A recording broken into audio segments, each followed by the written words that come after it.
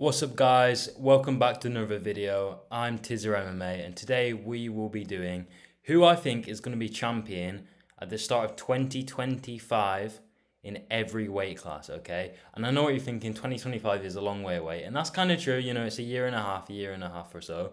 But um, if I was going to do 2024, I don't think many belts are changing hands, you know? I don't think many belts are changing hands for the rest of the year. Uh, I think a lot of guys are still in their prime and they're going to continue to w- dominate their weight classes. But I think in 2025, some of them are going to get a bit old, fall off a bit, and also some young prospects are going to work their way up enough and they're going to have them title shots and they're going to be champions by then. So uh, I've got people's faces all around the screen. I'm going to drag them in and uh, put them where their champion status I think will be. So let's kick it off. We've got in flyweight, the 125 pounds division. Mohamed Mokaev. And Mohamed Mokaev is a really good prospect, okay? He's British and he just destroys everyone. He's got a really good grappling game. And most importantly, he's 22, which for an MMA fighter is very, very young. Obviously, I know your prime in flyweight is lower. You're, you know, you, you prime in your younger years because you're smaller. But um, he's just showing so much improvement, and his stand up's improving in his last few fights. You can see that.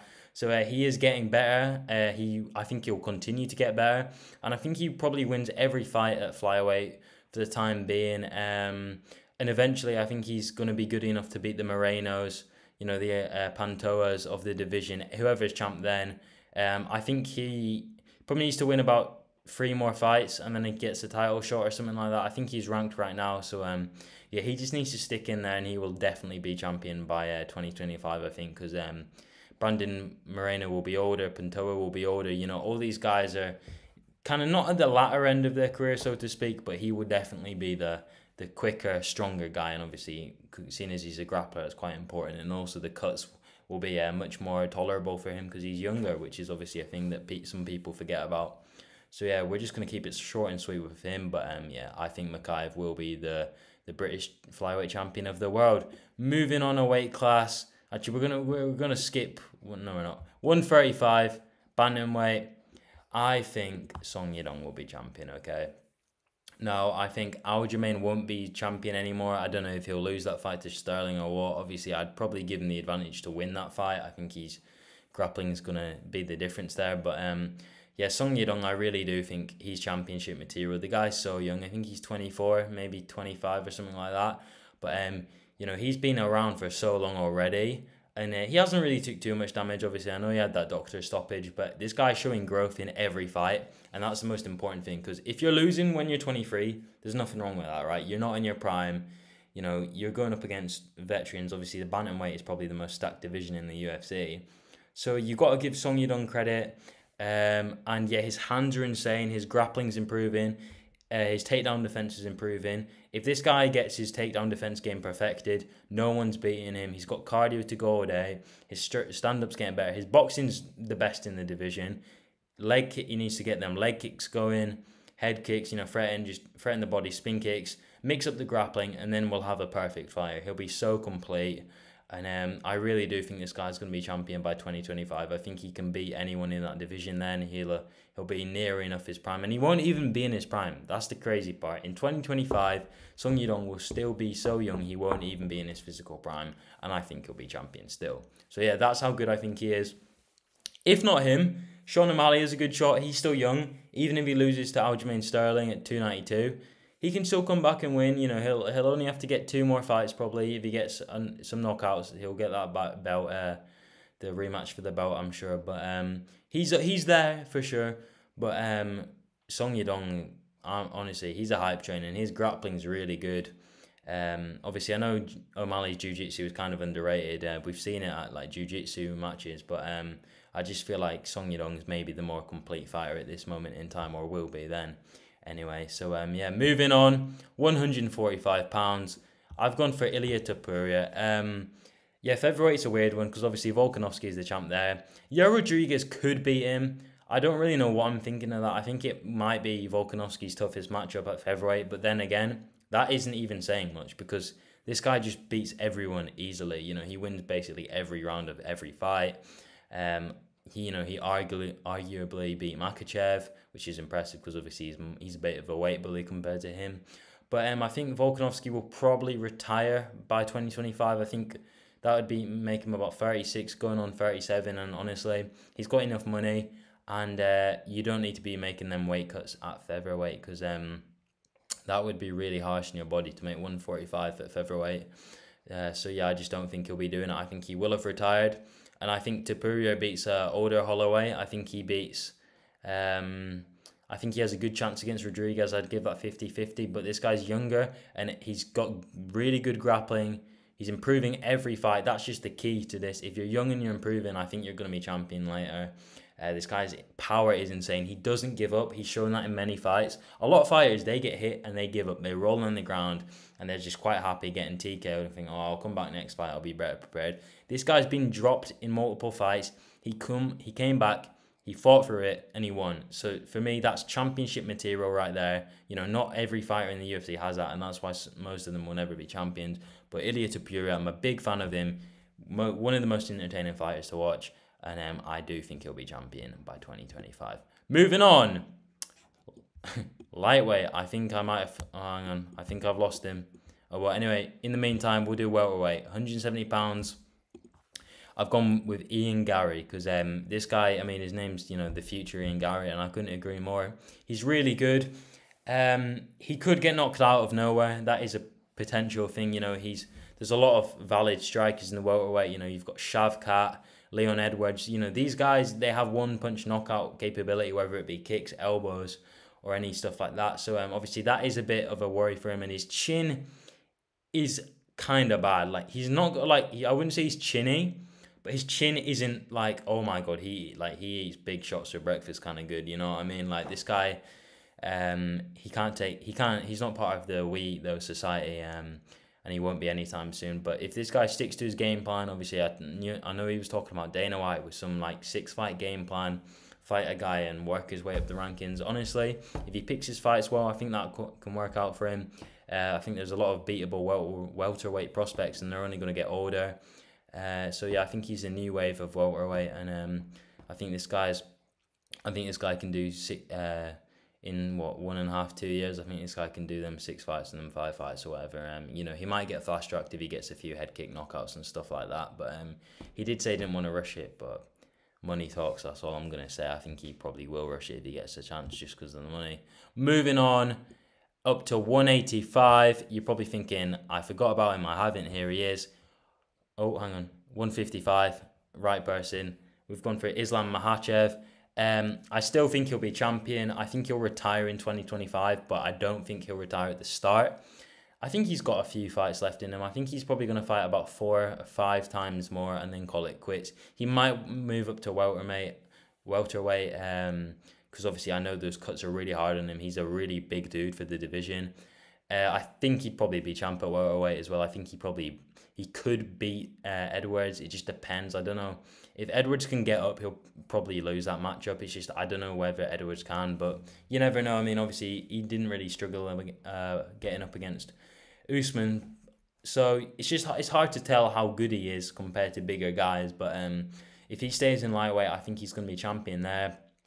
I think he'll still be a fighter in 2025 at the start of 2025. I do think he probably will retire before the end of it. But this guy's not getting beaten anytime soon. Um, you know, I was looking at the prospects earlier, and the only person I think can beat this guy right now is Beneil Dariush. And Beneil Dariush won't be getting a rematch at it, so he needs to win first time. And I honestly, I don't think he's going to be the favourite for that. Um, I think Islam's got about a 70% chance of winning that, and Beneil's got a 30%. Beneil's got hands, uh, he's got some unorthodox grappling, so he could catch him in submission or something like that, but you never know. But I'd give the athleticism to Islam, which is probably why I'm thinking he's going to get the job done. And he's also got underrated power in his hands. Uh, so yeah, I just don't think anyone else beats him. I think Fiziev is too small. I think for a lightweight, Fiziev could Fiziev could probably make featherweight. I know he's quite buff, but he's really short, and I just think he'd get taken down, kind of like Drew Dober against Makhachev. I just think that's how the fight would go. You know, he'd look sharp in the feet, fast, quicker than Makhachev, I mean, he'd just get taken on and subbed. But um, yeah, so that's that for 155. I really do think Islam, as long as he stays there, I think he wins basically every match except the Dariush match. Moving on up the card, we have. Hang on, let me find I don't know where my fighters are. Yeah, here he is, 185. Khamzat Chimaev, I do think he'll be middleweight champion by then. I don't know if Israel Adesanya will have retired, but I would probably take him to maybe sub Israel Adesanya in the first round because we all know that Khamzat Chimaev's grappling is very, very good, and Adesanya might not have the best frame for it. You know, I think he's a bit of a nightmare matchup for Adesanya. I think he can probably sub him in the first two rounds, and if he doesn't, I think he's maybe in trouble then, because you know we don't know how good the cardio is. But um, yeah, this guy, as long as he keeps active, he can win. But um, he's having a bit of an activity issue at the moment. I've noticed. Um, he needs to get in the ring. He's 29, bro. Get in the get in the octagon. You're 29.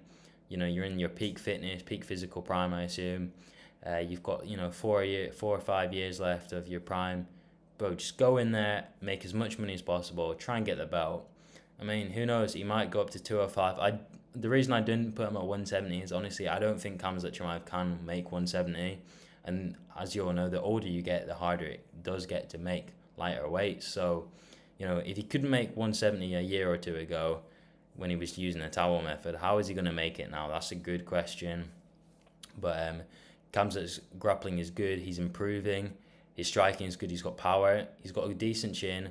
And his cardio, well, it was okay. It was okay. But I imagine at middleweight, because he doesn't have to deprive himself of loads of food and uh, water and stuff, I think uh, he'll be much better in the cardio department, which is why I'm backing him to be champion in two years. I think he's going to continue improving. And I think middleweight's actually quite a bad division, so I think he'll do well in it. And obviously, you know, the young guys in uh, middleweight people that still be around in 2025. You've got Whitaker, he'll probably be around. I think he might beat Whitaker, I don't know. And then you've got Du Plessis, and obviously, I think he then uh, annihilates uh, Dricus Du Plessis in one round submission. Uh, moving on up, who have we got here? We've got Magomed Ankalaev for the light heavyweight champion. This guy's 30 right now. He's good. He's still improving. 30 for a light heavyweight, he's still quite young. They do go till their latter 30s. And um, yeah, I'm kind of surprised this guy isn't champion right now. It was all a bit of a weird one. Um, he was he fought Jan, I think it was for the belt at 282. It was a draw, so they couldn't decide what happened, and then ended up uh, Hill fought Glover, and then um, that was what happened after that. So yeah, I think Magomed is going to be champion. I think he's got good enough ground game. His ground game is really good. Uh, he's got good uh, top control. He can keep people grounded. They can't really get up when he's on top of them. He's a big guy for the weight class. Um, he did have issues with Jan's leg kicks, which may, maybe makes me feel like his striking is his weakness, which we all know. But if he doesn't improve it, this pick is a bit invalid.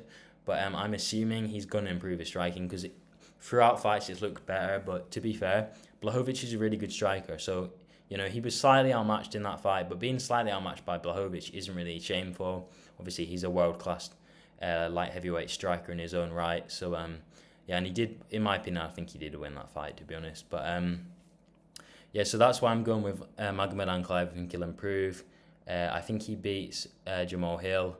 I really don't think Jamahal Hill should really be champion. I get why he is, but um, I think this guy beats him nine times out of ten or eight times out of ten unless he gets caught. And um, other than that, I don't really think there's many threats in light heavyweight. Johnny Walker, he's got the talent and the skill, but his chin lets him down, so that's why I can't put him in because his chin's a liability. He probably would just get caught at some point in his career. But um, yeah, so that's the light heavyweight division sorted. Moving on to the final division, we've got heavyweight. I've gone for Jailton Almeida, and I was torn between two heavyweights. I can't decide whether it's going to be Sergey Pavlovich or Jailton, but um, I thought in my mind, who wins when they fight the most? If they fought 10 times, who would win the most? And I've gone for Joe, and I think he'd win the majority of the fights, which is why I feel like he will be champion and Sergey will not. Because Sergey's tactic of basically trying to knock, knock them out in the first round, there will come a fight where eventually that doesn't work for whatever reason. You know, you get ch- you trip and you get taken down and you know you start to gas or you throw everything at a dude and nothing's landing clean for some reason and um, you know he can't you know I, i'm a big sergey fan i love him you know really entertaining but that fighting style eventually it won't work in one round i don't know who it won't work against but it may be Jailton to be honest i think if this is, sergey is a nightmare matchup for uh, sorry, Jailton is a nightmare matchup for Sergey. I think Sergey will probably be champion before, but I think Jailton will be champion by 2025. I think I really fancy Sergey, uh, Sergey's chances against Jones. I think he's got an, a good chance of beating Jones. I think he could probably retire him. Uh, I think Jones is going to retire after his next fight anyway, whoever it may be. And um, then I think it's just going to be a. I think Sergey is going to get that belt. I think he beats anyone else. Uh, J- Jailton Almeida is a few fights away from a belt. I think if he wins one more by finish in the first round, he'd probably get a title shot or maybe two. So yeah, I think Sergey will be champion first. But I think this guy's probably going to beat Sergey, which is a shame to say because obviously he's so fun to watch. But again, Jailton's, you know, he's a talented dude. He's done what no one else in heavyweight can do. Someone else to look out for is Tom Aspinall. He's coming back, but again, it all just depends on how he looks after that injury because that's a really serious injury, the knee one, to sustain. So um, I'm not hedging my bets on him being a sharp. I don't know how he's going to perform. He might be slower. He might look even better. I just don't know.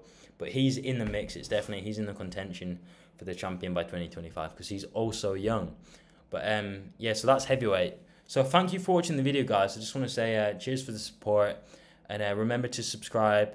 Uh, if you like the video, you know, leave a like. Comment down below what you think. Obviously, I I'm gonna have not put everyone as your favorite champion and stuff like that, and you're gonna think of others. So just uh, leave some stuff in the comments and tell me what you think.